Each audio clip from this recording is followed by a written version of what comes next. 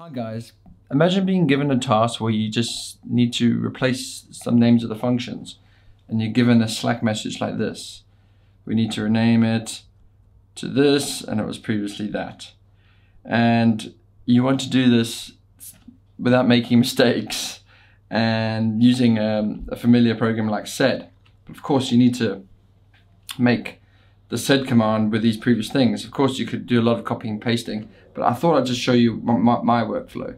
So my workflow would would be removing all the stuff around these things using regular expressions. So I'll remove this thing. I'm using Vim as my editor, by the way, if you're wondering what I'm, I'm doing this.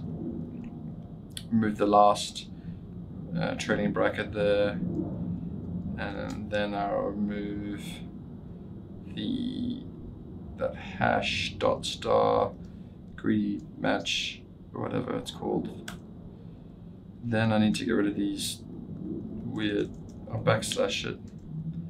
Okay, now now I've got the the to and the from.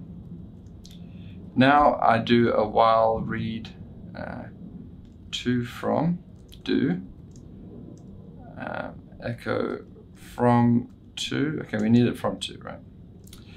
Done, and then in the file, this is a, called a here doc in bash. Yeah, we're using bash here, guys. You might need to install the latest bash if you're using Mac OS, sadly. So let me just double check this works.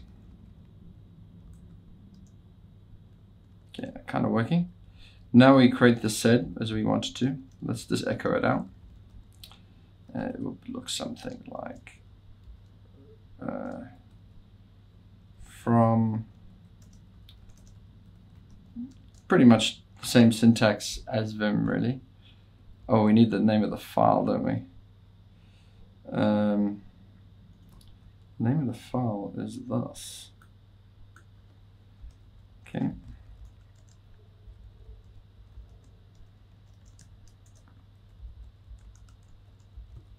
Okay, that's just, yeah, whatever.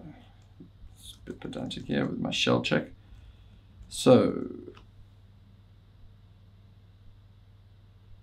that looks like it should work. I've actually made the changes already. So, I'm just gonna, I'm just gonna remove those changes. So that's it and then I'm going to run replace. Oop, sorry. I'm going to run replace without the, the echo now. Ta-da! That looks right. Actually, no. No, does it right? Yeah, it looks right. So that's that's how I do shell tasks. That's like my workflow. Vim sed. It's good to know these skills I hope my workflow helped you out, gave you the confidence to do similar things. This is general. This is this this stuff is kind of like, yeah, this is everything. Everyone needs to do this stuff sooner or later. Thanks, guys. Please like the video and subscribe and comment below if you know better. Bye.